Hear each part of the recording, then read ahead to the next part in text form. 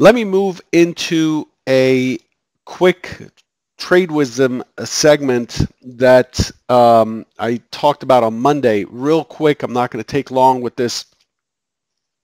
The idea that we're trading off of historical probabilities and uh, and and and um, putting on trades based on the behavior as described by historical probabilities does not mean that the probability that you think you have historically something that you've studied, uh, hopefully you've studied a big enough sample to have a high confidence, it does not mean that that probability is the probability of the outcome. You've heard this before from me, probably.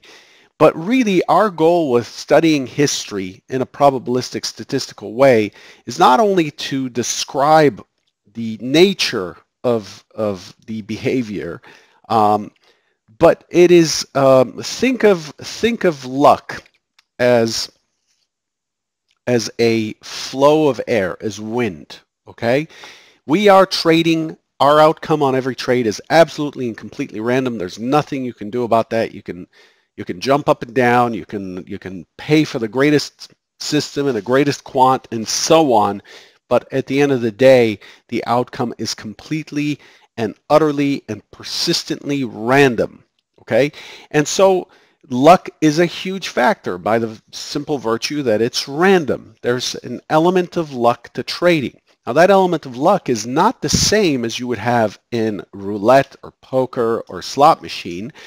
It's it's a little bit more. You have a little more control over how you uh, how you interact with that luck in terms of what you execute, what information you wait for versus what price you're going to give up for that information and so on. I've talked a lot about this on the information versus price risk uh, discussion. But what I want to say is this. We come in here every day like kite flyers. Luck is constantly streaming. It is a wind okay? It's just constantly flowing and and some of it's positive some of it's negative some of it's going to cost us and some of it's going to pay us. Our job as a trader is to fly as big a kite and as wide and as high as we can. And we do this by knowing what the nature of the market is, trying to describe it with in, in probabilistic historical probabilities as much as possible, exploiting that behavior we want our kite to catch as much luck in that uh, in that statistical probability as possible, and um, and then knowing ourselves well enough to be able to execute our plan consistently without hesitation. These are important pieces, really important pieces to have in place. So someone who's coming in and is trying to just grab someone else's kite that they found on a forum somewhere in a Skype group or something and tries to fly it without understanding you know the what how the shape of the kite impacts their luck their their historical probabilities without knowing how much uh, string they have without having all of these things because they didn't build this kite. They didn't build it. They just picked somebody else's and decided to fly it with real money. Now that would be a dumb thing to do knowing that you may have five three ten twenty twenty five thousand dollars on the line I would want to build my own kite. I would want to give it the shape that makes sense to me. And I would want it to have as the best possible opportunity for soaring up and going as wide as possible to capture as much of that luck wind as possible. And that luck wind might capture a lot of negative luck or positive luck. This is really the bottom line here. This is the bottom line. You're not going to be a, a, a, drone flyer in this wind. You're not going to get to pick which luck you can uh, you're going to get. So you're not going to be able to pick which setup is going to be the one that pays you, which setup, which is legit, is the one that you should pass on. We are all flying kites. We're all putting our sails up, and the biggest sails get to capture the most luck and if the probability plays out, then capturing the most luck exposes your true edge, and that edge is hopefully positive based on a historical probability that you're flying.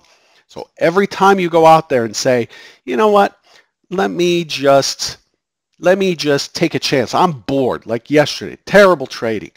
I am bored. I'm just going to throw one out there. All you're doing is basically saying, I'm just going to sacrifice this money and see what kind of luck I'm going to catch. And because you're doing that, you're not, you're probably not defining the true edge that you have. You're not defining the risk and so on, and you're gambling. It's just absolutely and positively stupid. So if your goal by listening to these trader bites and the goal of these trader bites is to turn as many listeners as possible into career professional traders, that is the goal of convergent trading. That's our stated mission. And so if you if your goal is to do that, then you need to act as a professional as as much as possible, as continuously as possible. And that's that's really the intent. And we just let that edge show up. And, and you're not going to have that edge show up if you run out of money. And a good way to run out of money is just to pick up kites and just throw them up in the wind. Pick up the next kite, throw it up in the wind. Pick up the next kite, throw it up in the wind. You don't know what why you're doing it. You don't know what the kite is for because you're picking up someone else's ideas and just throwing them up there. You need to build your own kite. Some of them may overwhelm you. They're too big. It's too big a, a kite and you might get lifted off the ground because your account's not big enough to hold you down.